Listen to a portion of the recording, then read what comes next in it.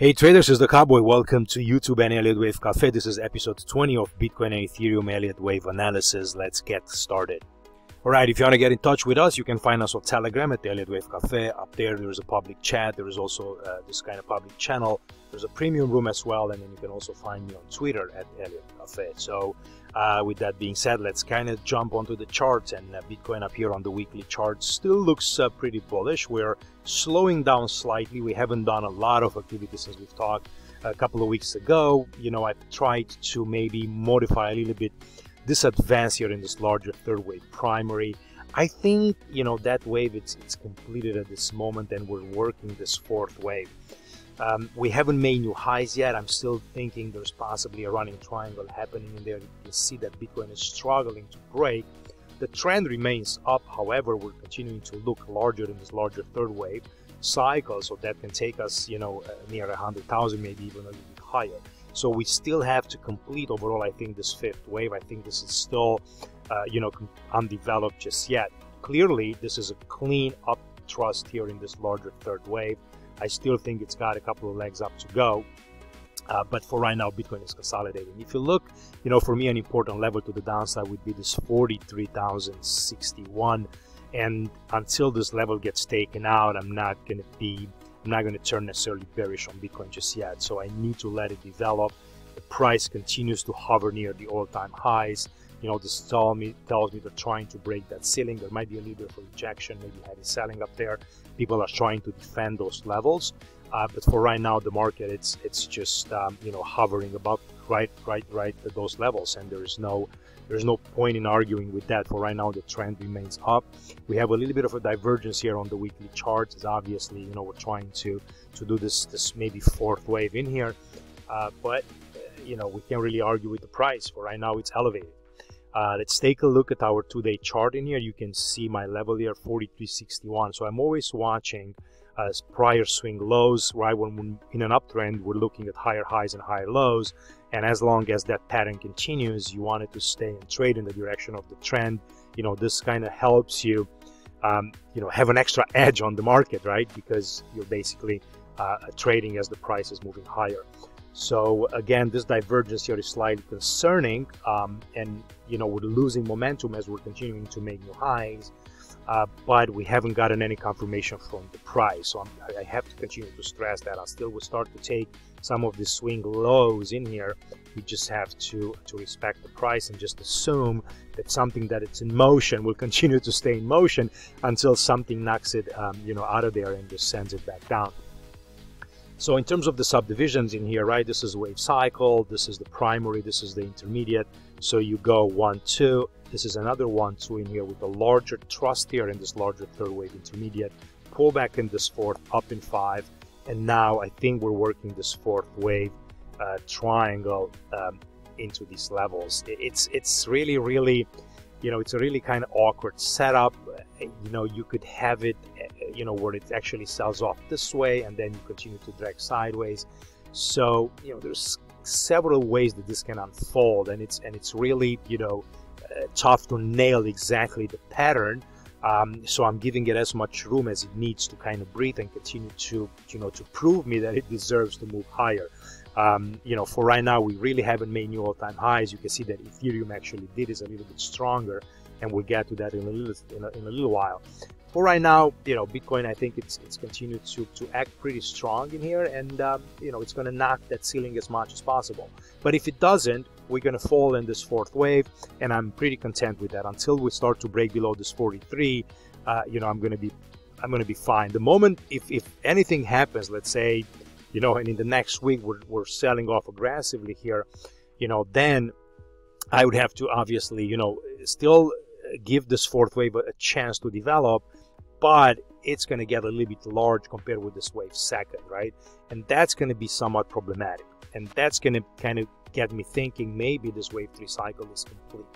Um, the reason why I'm giving this this um, move up here a little bit more room to develop, um, it's because I don't think um, that a cycle third wave it's in it's it's it's got enough room for a wave four uh, to kind of work from these levels, right? So if you look at it in a one and a 2 and then this is what I'm getting in the cycle wave third the moment you're going to have to do a fourth wave to the downside, it's going to have to be pretty large. So we're going to compare it with this wave second, right, which took um, you know almost a year to develop back in here, right? So if we're going to get something like that, it's probably going to have to be some kind of a triangle, um, so we can stay uh, away from this wave one highs, right? Because the moment we would break or we would come close to those levels, this would be an awkward looking pattern, right? So the only way I would accept that if this is going to be some kind of triangle and it's going to be more of a sideways moving here, right? That's why I'm thinking that this has a little bit more room to go just so we can give that fourth wave a lot more room to develop. Being a triangle, being a flat, being a zigzag, whatever it's going to be, um, remains to be seen. All right, let's jump to the next one here, and this is the moving averages up here on the weekly charts. The trend is clearly up. We're above the 21 day, we're above the 50, we're above the 200 week. In here, 200 week, it's a you know major defense, continues to climb right every single week. Right now, it's at about 10,620. Um, you know, the 50 is at about 20k. So these are kind of major defense levels uh, if the price pulls back. The 21 week right now it's at about 38,000, so that would be a level to watch. You can see in prior bull markets it offer really really good support. So you know even if you just want to place buy orders at those levels and you know go to sleep and you know maybe one night something happens and your orders will get filled right so keep those in mind uh, if you wanted to kind of pick bitcoin on the cheap those would be levels to try and then obviously you know, you would have to, I'm, I'm talking, you know, probabilistic here, but, uh, uh, you know, you would obviously, if that happens, you would have to watch, you know, how the price action reacts. And if you continue to sell off, obviously you got to get out of your position. But, you know, those are good levels to kind of enter on a long-term basis. Uh, taking a look here at the daily chart as well, you can see the 200-day moving average is about 29,000. So, you know, if you look, right, it's it's pretty much, um, well, it's actually a little bit lower than the 21 week. So, uh, uh, and then 50 days at about 20. So up here, uh, you have 200 at about 29,000. So that's another strong level. We've climbed about 170% above it before we pull back. You can notice that every time we get over the 200% elevation above the 200-day moving average, you're starting to get a little bit of a pullback, you know, something that's a little bit more significant. If we were to measure from these, um, from the levels where 200-day is right now, to where let's say 170 180 percent that would take us to about 75,000 so that continues to be maybe a near term target where the markets could travel and then pull back from there um, one more time. So you know, I, am continuing to watch this. We're above the 50 you can see how it just offers very nice support. We're above the 21 day moving average as well. So there's no reason for me to be bearish until some of these levels start to be taken up. So for right now things continue to look good. Up here on the weekly uh, candlestick patterns, you can see how um, you know you've gotten a rejection there for about from about 50,400 and um, the, you know there was a pretty nice you know tail uh, onto this uh, closing of that last week. And uh, since then the price is trying to push up higher. What I have back in here maybe you remember from a couple of weeks ago I have a time analysis of the distance traveled in this wave 1 and then also on the distance travel on this wave 1 to the wave second. And what I'm trying to compare in here is 3 versus 1 plus 2 and 3v1. So on a 3v1, this is the line that's here below. We've passed 161 uh, fib distance traveled, uh, which was back in January 29th. Um, you know, we're going to be traveling about 200% here on April 18th um, in this larger third wave, right? So that's going to be about twice the time that we've spent in this wave one back in here. Um, those going to be an important level to watch. And then if you kind of climb up higher, you'll see distance travel from one through two. So this is where wave one kind of started all the way to the second. And I'm kind of giving the fib time on there as well. And that's a little bit higher. And we will be traveling about 100% of that distance uh, on June 13th. So that's another kind of uh, target that I'm watching on this uh, bullish development. And then, you know, we'll get some, you know, other fib uh, zones up here, 261 multiple. That's probably going to be, you know, somewhere in August as well. So um, I'm incorporating the time analysis as well, just to kind of tell me, you know, just kind of keep me, uh, just kind of keep me looking into the future and where the price could travel based on this on this fib time, and just uh, gives me a little bit of a better understanding, not to you know, um, let's say get too excited about getting there too fast, or you know, um, like how much how much more time I actually have until I get uh, to equality or to you know twice the time and things of that nature. So um, that is um, you know that's Bitcoin uh, for you in here. Let me show you a little bit of the seasonality as well. And uh, let me see what's going on here. Why am I not? Uh, oh, I got to get out of my uh, markers in here. That's the problem. There you go. So sorry about that, guys. So I am um, on the seasonality on Bitcoin, and you can see up here. This is what's going on in April. April is a pretty bullish month. Uh, March was one of those months where you are actually, um, you know, trending more negative in Bitcoin. Actually, you know, this was one of the best years for Bitcoin in the month of March. We've gotten a little bit of a sell-off, but not too much, and it ended up being, you know, quite a positive month. But April actually, um, seasonally here between 2014 and 2021, you could see that it's uh, in average, right? It's a pretty nice positive month. It starts kind of slow and then it picks up a little bit of momentum.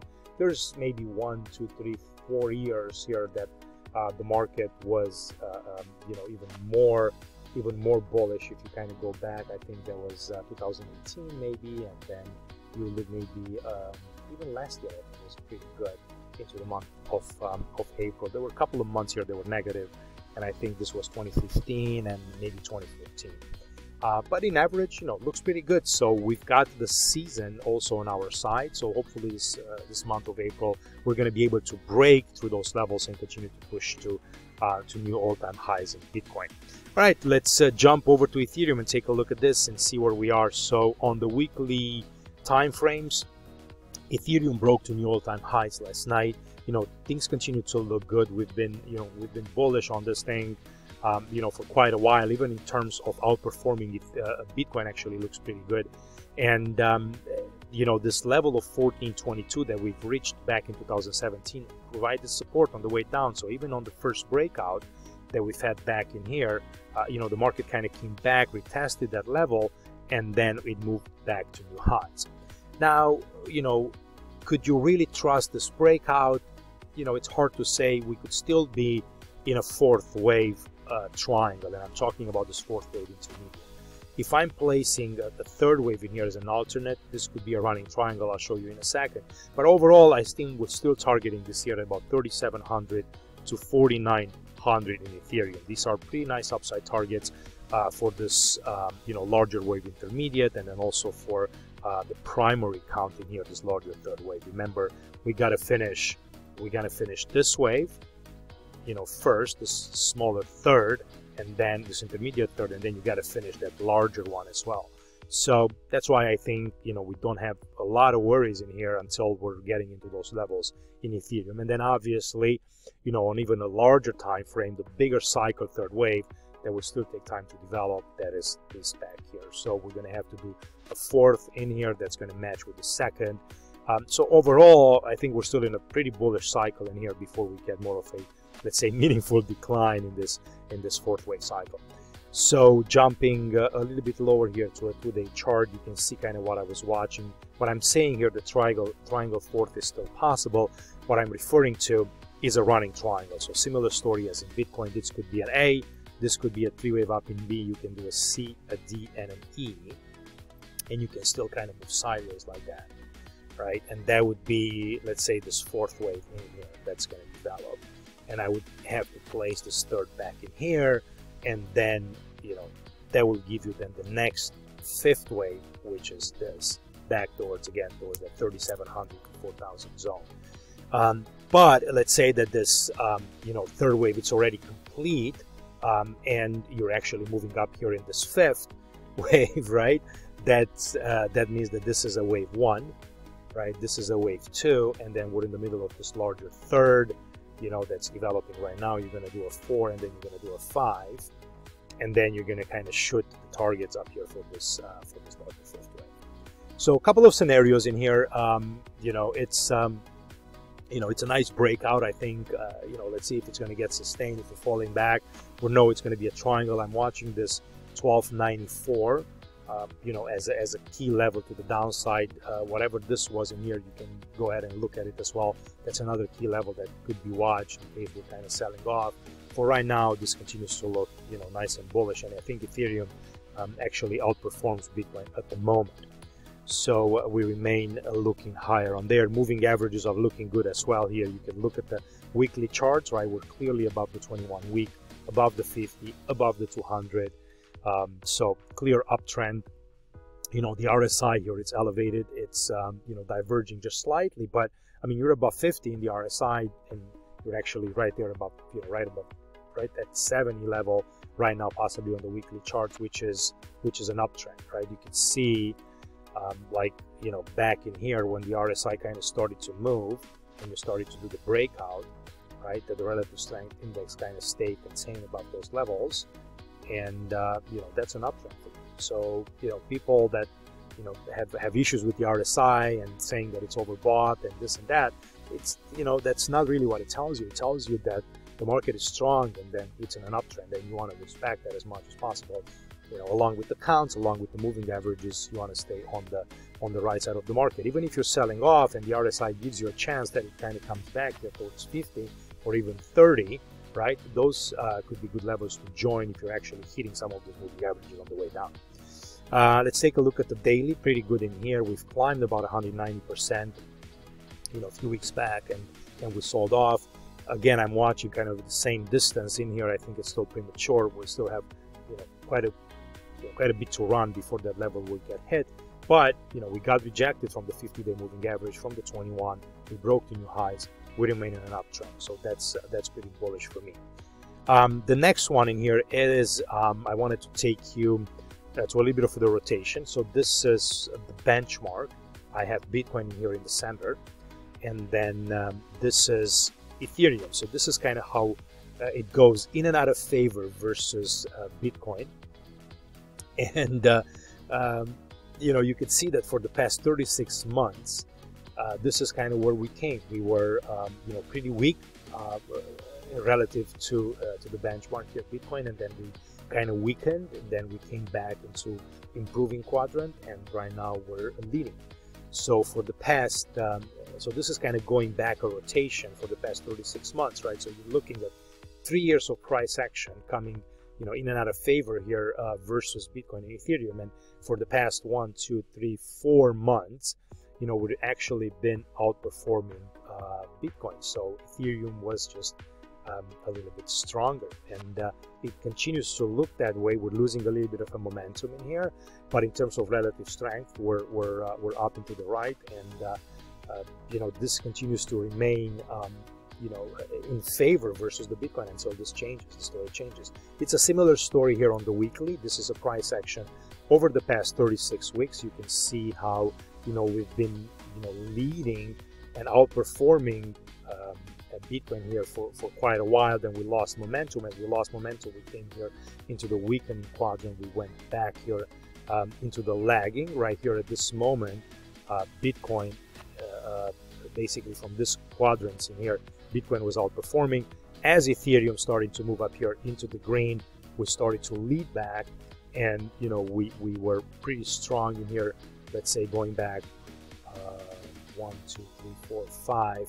So prior, five weeks prior and before, you know this was a pretty strong momentum, and then we start to lose the momentum a little bit right now and we're coming back here towards the center. We're still outperforming on the weekly basis, but we're losing the momentum. Relative strength continues to look pretty good. We're up into the right again. And if you look at the dailies, right, you can see that loss of momentum um, was a little bit better seen in here. This is kind of going back 60 days, right? So you were kind of weakening and, and, and getting back into the lag, lagging.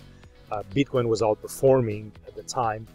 And, um, you know, then you got back into the improving. You lost a little momentum and now you push back with the breakout.